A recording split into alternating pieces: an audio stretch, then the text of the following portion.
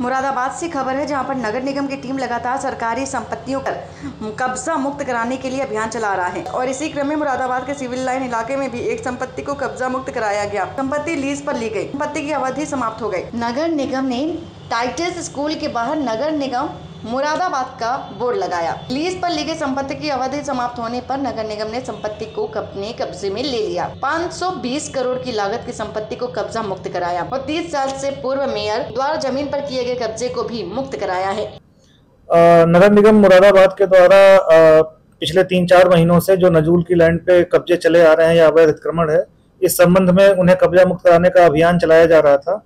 साथ ही नजूल रजिस्टर का परीक्षण करा के जो ज़मीन किसी के द्वारा अतिक्रमित की गई है, उसे जिला अधिकारी महोदय के निर्देशों के क्रम में खाली कराने की कार्रवाई की जा रही थी। इसी क्रम में उत्तर प्रदेश शासन के द्वारा जारी अध्यादेश के क्रम में डीएम सर ने टाइटस स्कूल की ज़मीन को खाली करने का आदेश अपनी कोर्ट से पारित किया था और उसके अनुपालन में कल मजिस्ट्रेट, पुलिस बल और अपर नगर आयुक्त की संयुक्त टीम ने जाकर टाइटस स्कूल की छह दशमलव दो तीन एकड़ ज़मीन, जिसकी अनुमानित लागत करीब 520 करोड़ बताई जा रही है उसको कब्जा मुक्त कराते हुए नजूल रजिस्टर में उसका अंकन करा लिया है। और अब यह ज़मीन नगर निगम की संपत्ति पहले से थी इसका कब्जा वापस नगर निगम ने ले लिया है और इसे जनहित कार्यों में सार्वजनिक उपयोग के लिए इस्तेमाल किया जाएगा। सर क्या अपील करना चाहेंगे जिन लोगों ने सड़क पर अवैध तरीके से अतिक्रमण कर रखा है? लोगों के लिए क्या?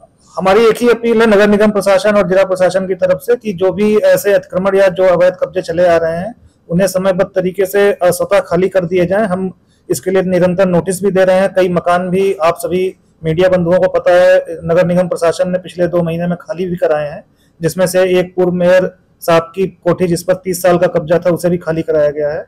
किसी भी प्रकार का कानून व्यवस्था की स्थिति उत्पन्न ना होने दें, क्योंकि नजूल की ज़मीन नगर निगम प्रशासन की ज़मीन होती है।